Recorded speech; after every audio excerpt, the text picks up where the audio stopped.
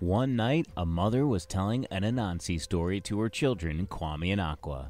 Father Kofi was just getting home from the fields when he overheard the end of the story.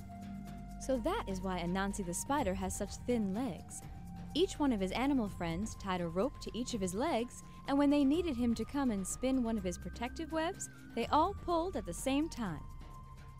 That's not true. It's just a story. Anansi is not real. No, it is true. Anansi is real and he's our friend. Children, hush and go to sleep. Meanwhile, a mosquito, Tammy Tum Tum, flies from the corner and bites Kwame. Very satisfied with her meal, she leaves and flies back to the river to lay more eggs. In the morning, everyone in the family rises early. After a long day, Afia walks home from the market where she sees the nurse from Road Foundation Clinic at her door. Makwaba, I'm going from home to home today to let mothers know that we have had several malaria cases in the area. I wanted to make sure that you were aware of all the signs and symptoms. Well, Serwaa, I know that the main symptom is when you get very hot and your bones hurt. Right, it's caused by being bitten by a mosquito. Many pesky bugs fly around, but the mosquitoes that come out at dusk when we are sleeping are most worrisome. It is very important that you come to the clinic as soon as anyone in your family is feeling sick. The malaria in this region of Ghana is very dangerous. Thank you for stopping by. I will remember. Goodbye. At night, the whole family gathered to eat fufu for dinner. The mother notices that her son is scratching his arm. She carefully looks at his arm and sees that he has a bug bite on it. Where did you get this? I don't know. I just woke up this morning and my arm was itching. Make sure to keep this clean so that it doesn't get infected. A few days later, Kwame wakes with a fever and doesn't want to get out of bed. Mama, Kwame doesn't look good. His eyes are very yellow. My son, how do you feel? I'm very tired and my head hurts. Okay, Kwame, today you stay home and rest. Hopefully, you will feel better tomorrow and be able to go to school. Can I stay home too? No, you are going to school. School is very important. My husband, I am very concerned about Kwame. He has been very sick all day and seems to be getting much worse. Do you think I should take him to the road clinic? I think that is a very good idea. I know a few people around the Warabong that have been in the hospital for malaria. I wanted to bring my son in because he has so many of the malaria symptoms. I'm sorry to tell you, your son does have malaria. The mosquito has made a lot of children sick. Make sure he takes these pills, get lots of rest, and drink plenty of good, clean water. I will. One night, when Kwame is much better, the family is sitting around the fire talking after dinner. In the corner of the house, they have a visitor, Anansi.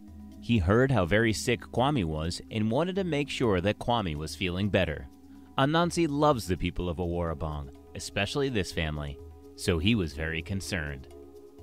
Later that night, the whole family gets ready for bed and goes to sleep. Anansi spins a web, climbs to the center of it, and falls asleep. In the other corner of the room, Tammy Tum Tum buzzes in. Anansi, startled, awakens from the noise, sees Tammy hovering over Akua, and quickly reacts. Spinning a web to protect her, Tammy Tum Tum rapidly changes direction and heads for Kwame. Anansi reacts swiftly, jumps over to where Kwame is sleeping, and spins a web as fast as he can. Tammy Tum Tum sees the web and backs away. Tammy, get out of here! You make the people I care about very sick. I am not here to make people sick. I just want food. I'm hungry all the time. It doesn't matter if you are trying to make people sick. You are. I've had enough of you, you overgrown spider! Tammy, you hurt too many people. You need to get out of here. Get out of this village, or I will have all the children hit you when they see you. Tammy furiously flies toward Anansi, who makes another web, and Tammy gets caught in it.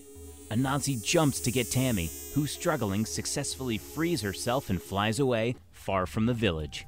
Anansi is victorious. Afia and Kofi wake in the morning to see their children sleeping peacefully under the protective bed net. What happened last night? I had the weirdest dream about Anansi. He was here and fighting off a giant mosquito. He was trying to save Kwame and me. Just then, Akua realizes she is protected under a giant spider web. This must have have been Anansi's work. He saved us from the mosquito. He protected us. The next night, the family is at dinner. Just then, Kofi comes over and points toward the corner of the wall. Do you see that? There's a hidden message written out in the spider's web. It reminds us that we must protect ourselves from the mosquitoes. So every time we see a web, remember what Anansi did for us and how we must continue to fight off Tammy Tum Tum by using our mosquito nets every night. So the power of Anansi protects another village. You can help Anansi too and fight off Tammy Tum Tum by sleeping under a bed net.